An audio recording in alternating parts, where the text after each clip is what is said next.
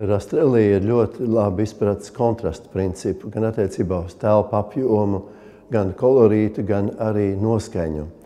Un, tāpēc šeit zelta zāles pompozējai greznībai precitā likts ir šī mazā porcelāna kabinetiņa vieglums un ļoti koķetā noskaņa. Amizanti pie tam, ka šī telpa pirmajā periodā bija paredzēta kā pils toalete un pieejama no zāles priekštelpas, un pēc tam tika izveidot šī ļoti interesantā lieta porcelāna kabinets. Jo porcelāna kabinets 18. gadsimtā ir modes lieta un bieži tos apvieno ar otru modes kliedzienu, kas ir spoguļu kabineti. Un šeit arī ir gan konsolītes, kas nes porcelānu, gan arī divi spoguļu logi.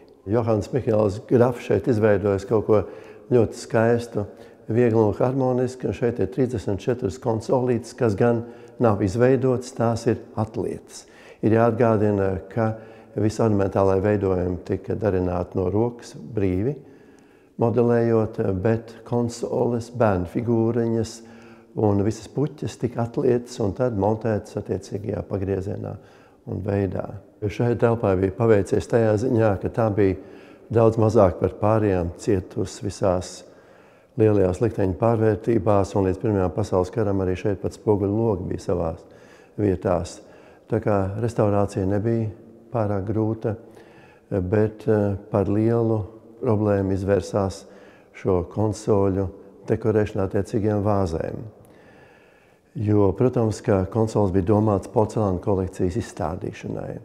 Nu, mēs nekad neuzzināsim, kas īsti te bija izlikts hercoga laikā, bet vairumā gadījumu tomēr tas vienmēr ir bijis tālu austrumu porcelāns, vai no Ķīnas vai Japānas izstrādājumi.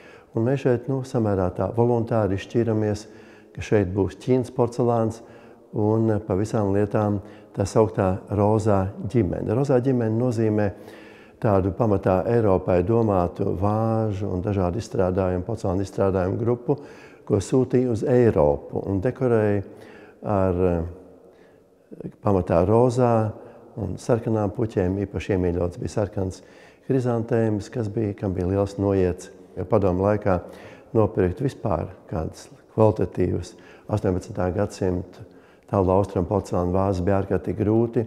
Un īpaši grūti tajā ziņā, ka pat cik šīs konsoles ir simetriski, vismaz par divām kopā, eh, tad bija jāatrod vāzes, kas ir pārvāzes. Tas bija pavisam sarežģīti. Un mums nācās ķerties pat pie kopiju izgatavošanas pēc oriģināliem. Un tikai tagad, pašā pēdējā laikā, notiek tas skaistais process, ka mēs nomainām tās ar īstām 18. gadsimta rozā ģimenes vāzēm, ko mēs iegādājamies starptautiskajās izsolēs.